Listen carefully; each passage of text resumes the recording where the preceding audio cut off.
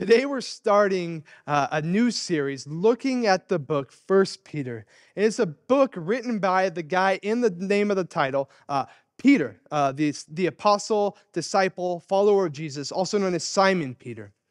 And as we head into to diving into this letter, I think it's really important that we, that we take a moment to look at the story of Peter and what we see is a very relatable human faith. Sometimes when we read the letters, particularly those written by Paul, it feels like I can't relate to this guy. He's like a superhero of the faith from beginning to end. He starts out as this, this chosen, up and coming next Jewish rabbi who is doing evil while he thinks he's doing good, has this meeting with Jesus, and then takes off in the other direction and accomplishes great things. And yet, what we see in Peter is this transformative journey that really shapes and, and makes this a really personal letter that he's going to write that is both wordy and kind of in your face. And so, Peter. Peter's story starts out uh, kind of right along the beginning of Jesus' story in the, in the Gospels. He's a common man of no standing. In fact, he's a fisherman. He's a Jewish man who's a fisherman uh, in Capernaum on the, the Sea of Galilee. And he fishes with his brother Andrew and James and John, the sons of Zebedee, the, the future disciples of Jesus. And his brother Andrew is a, is a follower of John the Baptist. He, he finds out about Jesus. He realizes that the Messiah has finally arrived. He goes and tells Peter that the Messiah is here, he's coming. And then shortly after this, what we see is Peter has his own encounter with Jesus. Jesus shows up on the shore while Peter is out in his boat fishing. And Jesus calls to him to come follow, come follow me. And Peter responds in this amazing step of faith. He leaves behind his nets, he leaves behind the boats, his livelihood, everything he's worked out in his life so far to go follow Jesus. And he goes on this amazing journey with them. Here's Peter. And as Peter goes along in this journey, we see a lot about him. We see the character of him. We see how he's kind of this really boisterous, uh, brash guy who often is the, the, the spokesman for the disciples. And what we often see too is that he is he puts his foot in his mouth. He's more bark than bite. He's got real problems. Many times in the Bible, we see this, this in action. There's he's the guy who while he's talking with Jesus, Jesus tells him, prophesies that he's going to die in fulfilling his mission. And Peter says, No, Jesus, I'm not going to let that happen. And Jesus famously says to Peter, Get behind me, Satan. He's a guy who, uh, while talking to Jesus, tells him, I'm never going to abandon you. I'm never going to deny you. I will follow you to the death. And then a short time later, he's the guy who goes with Jesus into the Garden of Gethsemane. And while Jesus is, is wrestling and struggling in his moment, uh, talking to the Father in prayer, begging for another way to go forward with his mission, we find Peter asleep multiple times. He fails Jesus eh, as a friend in that moment. And then shortly after that, as Jesus is arrested, he panics and he chops off the ears of one of the servants who Jesus ends up healing. And Jesus, he goes to face trial. And we find Peter in the background denying Jesus three times, including once to a little girl. Peter's journey is marked by failure, and, and, and he, he feels that. But what we also see in that is Jesus loving and restoring him. And Peter goes on to do amazing things, but he still he still struggles along the way. He goes on after the death of Jesus and Jesus coming and going again. He goes on where he stands up and says that we have to fulfill prophecy and replace Judas he stands up and, and takes the gospel. He's actually the first one to ever take the gospel to the Gentiles. And even along there, he's still messing up. He still, he still lives a rocky life. He causes issues and eventually becomes the guy who takes the, the gospel to the Jews. But ultimately, what we see is a man who's willing to give his everything for Jesus and for the gospel. He goes to jail and he ultimately dies proclaiming Jesus. According to tradition, Peter dies on a cross upside down. He is martyred for his beliefs. And so we want to keep in mind this journey that we see out of Peter as we read through his letter because he can be really wordy, he can be really in your face, and yet he's not speaking as someone sitting on a throne telling people, get it together, do all these things. He's actually a guy who's saying, I've lived this life. I've, I've journeyed with Jesus. I have failed every step along the way, and yet I'm trying to live out my calling despite the circumstances of my life. And he's inviting the recipients of the letter, he's really inviting us to do the same. And so today, we're going to be diving into the first 12 verses of First Peter. And I want to I want to just be kind of transparent and honest. I really struggle with the openings to uh, the letters. Most of my life, I have come to them. I start out a letter and I just like blast through them. I'm like, this is boring. I want the good stuff because it's a letter in how we have uh, formats for the beginning of our letters you know dear so and so or to whom it may concern i hope this letter finds you well peter had a format in which he was writing letters they had their own style and and so this beginning seems like that to whom it may concern, and also kind of like the beginning of uh, that five paragraph essay you had to write in high school where it's like, tell them what you're gonna tell them. I'm like, I don't, I'm not interested in that. Like, give me the good stuff, give me the meat and potatoes, which I don't like potatoes, so I don't know why I would use that phrase. But, right, I want, I want the substance. But if we skip over this beginning, we miss a lot. It's God's word, and it really sets the context for what Peter is going to write for these next five chapters. He reveals so much in it. And what we're going to see in this, in this opening, and what we're going to see throughout the whole book is this He is writing to an exiled people called to obedience through a living hope. And these words that I pulled out, they're actually pulled out from the scripture, pulled out from his opening. And we're going to see this run throughout his letter an exiled people called to obedience through a living hope. So let's just go ahead. We're going to read through the first 12 verses. It says, Peter, an apostle of Jesus Christ, to those who are elect exiles of the dispersion in Pontus, Galatia, Cappadocia, Asia, and Bithynia, according to the foreknowledge of God the Father, and the sanctification of the Spirit, for obedience to Jesus Christ, and for sprinkling with his blood May grace and peace be multiplied to you. Blessed be the God and Father of our Lord Jesus Christ. According to his great mercy, he has caused us to be born again to a living hope through the resurrection of Jesus Christ from the dead, to an inheritance that is imperishable, undefiled, and unfading, kept in heaven for you, who by God's power are being guarded through faith for salvation ready to be revealed in the last time. In this you rejoice, though now for a little while, if necessary, you have been given grieved by various trials, so that the tested genuineness of your faith, more precious than gold that perishes though it is tested by fire, may be found to result in praise and glory and honor at the revelation of Jesus Christ.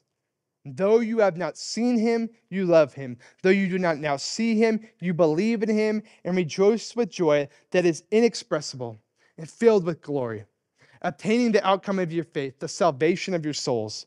Concerning the salvation, the prophets who prophesied about the grace that was to be yours searched and inquired carefully, inquiring what person or time the Spirit of Jesus, excuse me, Spirit of Christ in them was indicating when he predicted the sufferings of Christ and the subsequent glories.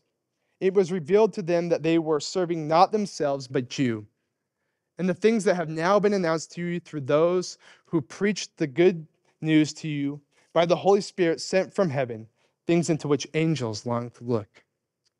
Peter is just like this really incredibly wordy guy. And the truth is, as we go through this book, we're going to spend 14 weeks through five chapters. It's a fairly short letter. And what we could really do is we could spend months and months, years diving through every last thing Peter has to say. We could pull apart word, every, every last word. And there would be value in that. But what we want to do is make sure uh, that we're pulling out the really important and applicable things, that the Word of God is both living and active, And so we're going to take and look at the things that are directly applicable to who we are right now. And so the first thing we're going to see in this letter is an exiled people.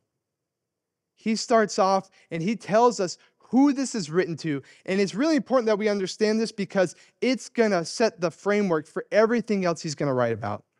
He talks about that he's writing to the elect exiles of the dispersion in Pontus, Galatia, Cappadocia, Asia, and Bithynia. And these are five Roman provinces in what is now modern day northern Turkey. And if you're like me and like in high school, when uh, when geography was brought up, your eyes just glazed over, and you're like, that makes that doesn't mean anything to me. It's like that area of the Middle East, the northwestern part that's like you're not really sure if it's Europe or Asia or Africa. That's where this is. It's a massive landmass. And so, unlike the other letters uh, in the New Testament, he's not writing to a specific church, specific local church, or a specific person. He's writing to the church at large across this huge space, writing to a bunch of Christians who, have, are, who consider themselves exiles. It says the elect exiles of the dispersion. So, this word elect, it just simply means chosen. Um, but he's writing to these exiles of the dispersion. And this really gives us an exact time, uh, date, and, and people who he's writing to. Unlike some of the other letters where we just have to kind of guess and, and from, the, from the context, we know exactly who he's writing to. He's writing to Christians who are scattered across the area uh, during about 60, right after 64 BC.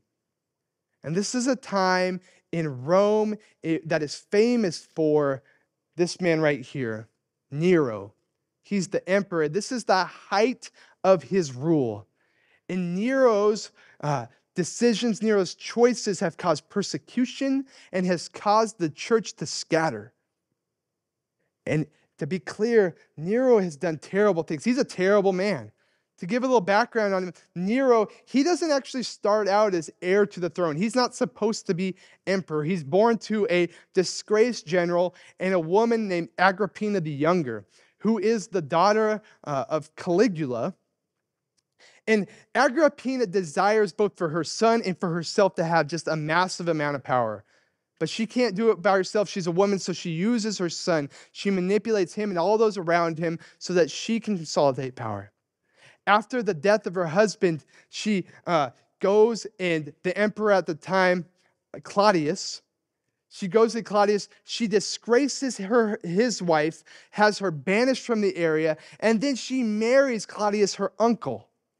She has now combined the families. Nero is now part of the royal family, but he's not heir to the throne yet. He has a, a, a stepbrother, Claudius's actual son. And while this is all happening, Agrippina is trying to, to work her way to get Nero into power. And she does this through assassination. She poisons Claudius. She teaches Nero how to be an assassin, how to use poison, and he poisons his stepbrother so that he can now be the heir to the throne. He steps in as the emperor. And ultimately, later down the line, has Agrippina, his own mother, killed because she comes in conflict with him. He's just, he's an assassin raised by an assassin. And what's interesting is this was probably the most tame part of his life. After this, Nero is known for really all the sins of Rome. If you roll them into one man, that would be Nero. He's known for his sexual perversions, his, his, his sadism, his, his desire for blood. He is an evil, evil man. And so, right before this letter is written, we find Nero, and he's wanting to build what is known as his Domus Aurea. It's his golden palace. It's this, this extravagant, opulent house that he wants to live in. But there's a problem. The place that he wants to put it in, the nicest area of Rome, it's already taken. It's taken by temples and shrines and houses to the heroes of Rome. It's taken by the politicians and the rich. And so Nero concocts a plan. He's going to burn this area down so he can have it. And so he sends out arsonists throughout Rome, in particular this area, and they light fire to Rome. A massive portion of Rome burns to the ground. And Nero now has turned the people against him. They don't know for sure, but all that they've seen from him, they point the finger at Nero and say, It's this guy. He did this to us. He burnt down our homes.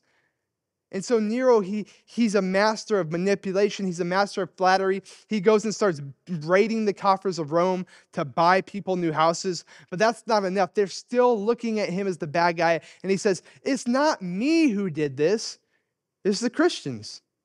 It's them. They're the ones. They hate you and they lit your city on fire. And the people buy it and they turn against the Christians. They chase them from their homes. They, they, they chase them out of Rome into, the, into hiding, and they actually persecute them in the sense of real persecution. They put them to death. What we see in recorded history is, and it's brutal. Nero is recorded as having taken captured Christians. He would wrap them up in animal skins and then put them out to his attack dogs, and they would kill him. And he would make a spectacle of this. The church has dispersed. They are exiles and they are living in fear. And it's here that we find Peter writing to them. He's writing to people who are experiencing real persecution, who are really exiles for their faith.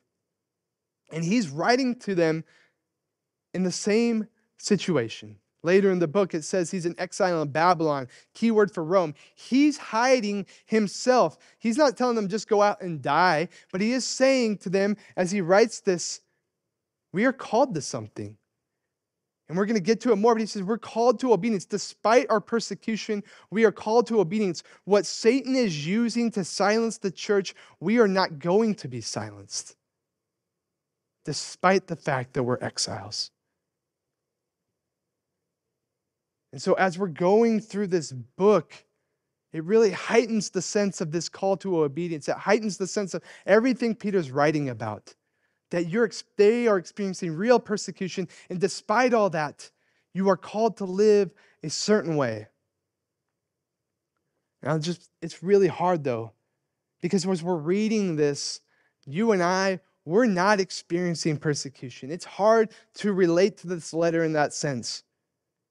The worst persecution I have ever experienced, I wouldn't even call persecution, is I've lost, I, lost people who don't want to talk to me because I'm a believer.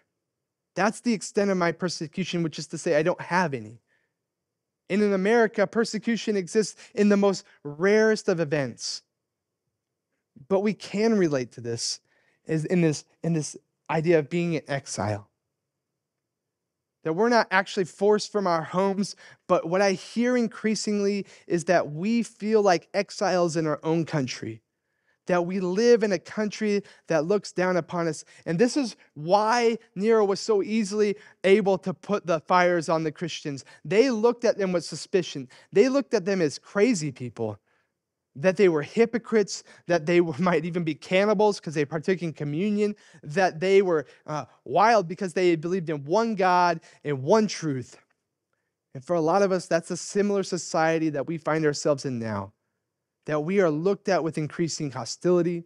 We are looked at as suspicious. We are looked at as bigots, are, are uh, phobic, uncaring, uncompassionate, uh, crazy people for having the, uh, the audacity to believe in a single truth.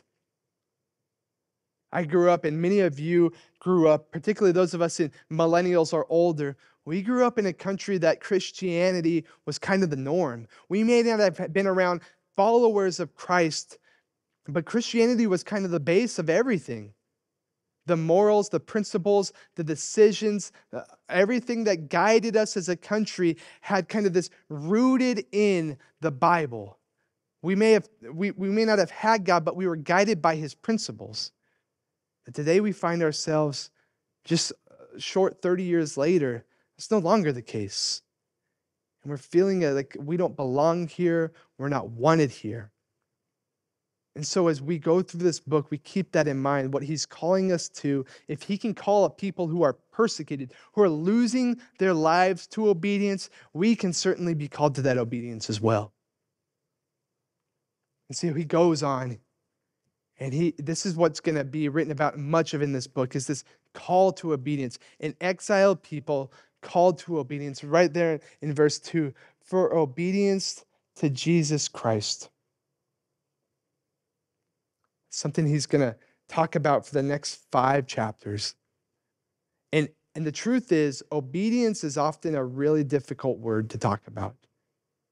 It's one of the things that we often don't like to discuss in church. And I'm talking about the church at large. Obedience has been pushed to the side. We went from this like uh, fire and brimstone to now the, the, the overabundance of grace. And we don't, we don't, we often don't want to talk about obedience because obedience doesn't put people in the seats. Kind of going back to our DNA series that we just finished up talking about forgiveness and grace, and these are all great things and true, and they're a massive part of the gospel, but the obedience is something we want to skip over often. But to be clear, we were called to obedience. We were called not just to believe, not just to be given, be forgiven, but we were called to follow. We were called to sin no more. That was the call of Jesus in our life. That was the call that Peter had for them what you're going through, you are to remain obedient. And it's really hard because this word often gets twisted. When we use the word obedience, for many of us, what it means is we're not supposed to do the things that we're told not to do, right? We're not supposed to do the fun things, or at least the fun things according to the world. And yet, obedience encapsulates so much more. Yes, there is truth in that. We are called to put aside our fleshly desires, but obedience is about all the things in our life. It's not just the hands, not just the actions, it's the mind and the heart. It's a complete transformation. It's changing our minds and aligning it with God. It's what Jesus talked about. It's not just about not murdering someone, it's about not hating someone. It's not just about not committing adultery, it's, the, it's about also not lusting after someone. It's about submitting to the will of God in our life, building His kingdom versus building my own kingdom. When we talk about the spiritual pathway, it's getting to that last step along it, that, that steward, moving from servant to steward. I'm not building what I want, I'm building what God desires. Obedience is about an entire life focused on Christ. And that's what Jesus is calling us to. That's what Peter is calling these people to, to obedience. And to be clear, it's not just obedience for obedience sake. I think that's another reason we often struggle with obedience, this idea of obedience, because I'm like, why? So I can simply be obedient, right? Just go back to being a parent or being a kid with your, with your parents. They tell you, don't do something. Why? Because I said not to. We immediately, in our sinful nature, we're, we're, we're repulsed by that. We repel it. We don't want that. We don't want to be obedient for obedience sake. And yet, Peter, that's not what he's calling them to. What he's calling them to is mission. You're obedient for the mission. That what you do in spite of persecution reveals something about you. It reveals who has transformed you, who your Savior. It reveals Jesus Christ. And he uses this interesting phrasing sprinkled with his blood. He goes back to this Old Testament idea, this old, this old covenant. And it goes back to Mount, uh, the Israelites at Mount Sinai with Moses in which God is establishing his covenant with his people and they're sprinkled with, with blood. And this old covenant, right? It's about God. It's to be clear, it's a conditional covenant. God has chosen these people. He's going to make them his chosen people. He's going to provide them protection and blessing in a harsh world. They'll be able to withstand famine. They'll withstand the warring factions and nations of the reason, region. And in return, they will obey him. They will keep his commandments. They will be his people. And in that situation, what would happen is, as he would do this, as he was providing his protection, what would happen is that he would reveal himself to the nations through this the lost, the, the lost people would come to know him because of what he would do to that people. And their obedience was focused on what they would get from God. And yet, what's happening is there's a new covenant. With Jesus' is death and resurrection, there's a new covenant. And this covenant is unconditional. And in it, Jesus dies for us. He takes our sin. He, we are granted forgiveness and eternal life but it's no longer about what we're going to do. We're not, we don't have to be obedient to receive this. He does it fully of his own will. He does it for us. There's nothing we do to earn it. And so what he's saying is this obedience that you're exhibiting, this, this transformation that you're allowing to take place, it's not so you can get something from God. It's now obedience uh, out of what God has done. That the work of Jesus Christ is to lead us to obedience. The new covenant is to overflow. The, the Holy Spirit in us is to, is to overflow all of this in us. So that's what is our natural reaction is obedience. And so he goes on to end this, this opening, and he goes through quite a lot. He's very wordy again. He goes to this this obedience is through a living hope. It's not because of what you're going to get, it's because of what has been done for you. And if you remain focused on that, we can live an obedient life. Because the reality is, we don't want to be obedient. And not only that, to be truthful, we can't fully be obedient. All of human history has revealed that. We're not obedient people. We struggle greatly with being obedient, even day to day. We can't just pull ourselves up by our bootstraps. So Peter kind of gives this, this outline of this is what we're going to focus on to be an obedient people. We are going to focus on a living hope. He talks about he has caused us to be born again to a living hope. It's right there. That in our rebirth, when we give our lives to Christ, we are spiritually reborn. We are transformed with Him. Our focus is no longer on what's right in front of us. Our focus is on what He has done and what He has promised us. He goes on to an inheritance that is imperishable, undefiled, and unfading, kept in heaven for you. He talks about our future promise. He talks about our security. He's writing to a people, remember, who are dying for what they believe. And he says, despite the circumstances of today, the promise of tomorrow remains and is true. God is faithful. He will be faithful. The eternity that you have with Him, that persecution, persecution can't touch. Persecution is trying to take everything away, and it can take away everything that is material in this world. But for the rest of eternity, you are promised eternal life. You are promised a life with Christ and all that He, eh, all that He has to give us. And through all of this, what He's been going over is is the gospel. He's talking about the three acts of the gospel. You have been saved from the penalty of sin, you are being saved from the power of sin, and you will be saved from the presence of sin. God is working through all of this. He has been working, and through the persecution, or even where we feel as exiles, He's continuing the work. And to keep our eyes focused on what He has for us now and in the future, despite whatever circumstances we have that God is working. And he goes on to talk about how, how it's not just through your own power, it's through the power of the Holy Spirit. Again, you're not going to become obedient people simply because you desire to be obedient, but it's okay because the Spirit is alive and living inside you as a follower of Christ. He's going to give you the will and the way to become obedient children of God. He finishes up, he talks about the, he starts referencing the prophets, the prophets of the Old Testament. And he said that spirit, the spirit that empowered them, that inspired them to write to, to, the, to the Israelites, those prophets that inspired a people to during their persecution, their exiles, that same spirit that has inspired people to now is still working through uh, the people Peter is writing to, and he's working through us right now.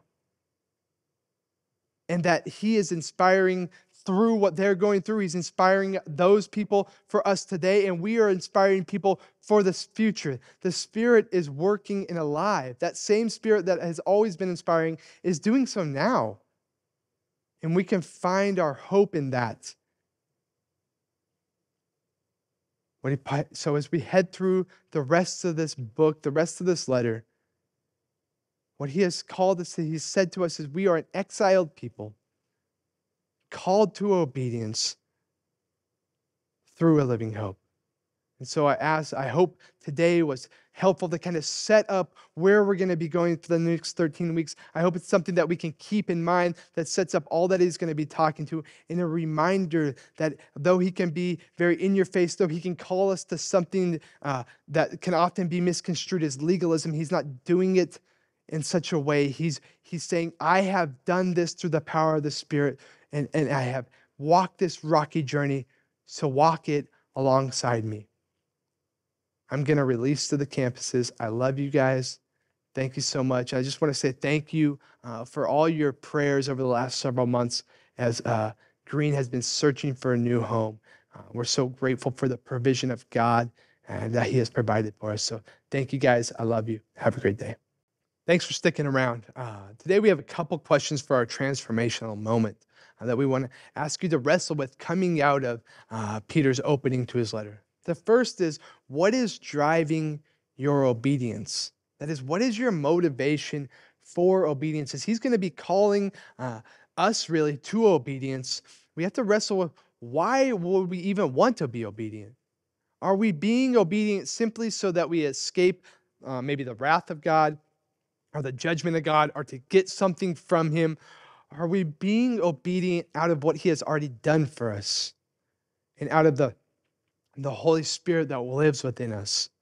It's important that we have a proper understanding of our motivation for obedience as we move forward and allow God to be working through His words.